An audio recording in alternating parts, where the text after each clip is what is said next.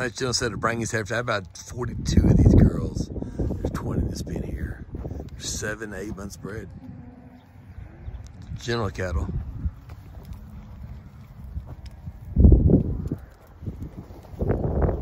It's chilly today, chilly. Good set of heifers though. Like a real set of cows. Thoroughbred to Angus bulls. Low birth Angus bulls. Six eight months bred.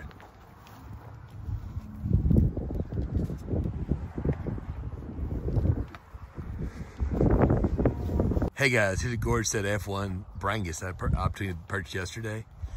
They're all seven, eight months bred. Angus bulls, they're gentle.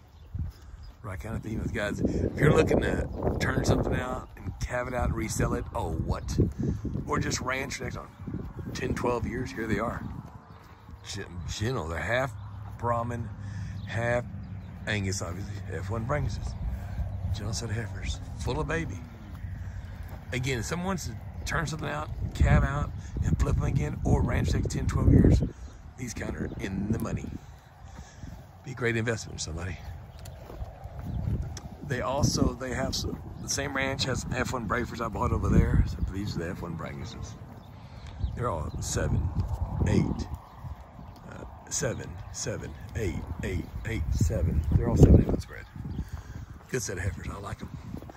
Again, they're F1 Branguses, and they're very gentle. Have a blessed day, everyone. Give me a shout.